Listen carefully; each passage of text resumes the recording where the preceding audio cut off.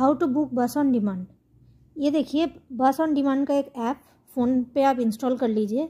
ये Apple store से हो या एंड्रॉयड प्ले स्टोर से हो, कहीं से भी आप इसको डाउनलोड कर सकते हैं। अब इसमें क्लिक कर दीजिए। ये एक एरिया के अंदर चलता है। तो ये देखिए, मेरे लोकेशन इधर दिखा रहा है करंट लोकेशन और मुझे कहाँ जाना है, मुझे यहाँ पे राइट डाउन करना है। तो सोचिए कि मैं एस आई टी टावर जाना चाहती हूँ।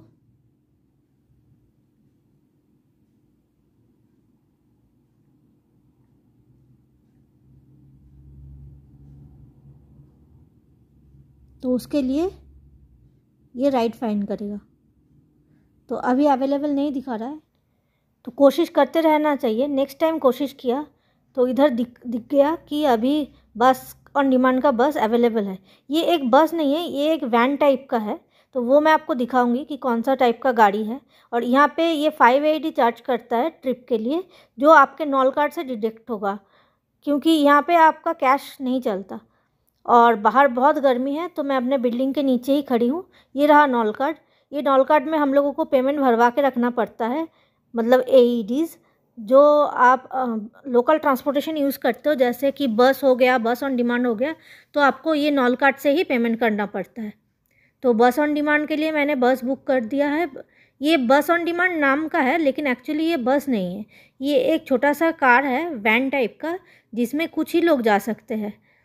तो मैं अभी सड़क पे खड़ी हूँ, मुझे वहाँ पे सिग्नल आ गया कि अभी मेरा वो गाड़ी आ रहा है, बस ऑन डिमांड वाला तो वो मुझे पिकअप करेगा और मुझे जहाँ डेस्टिनेशन वो एस आई टी टावर के सामने ये ड्रॉप करेगा।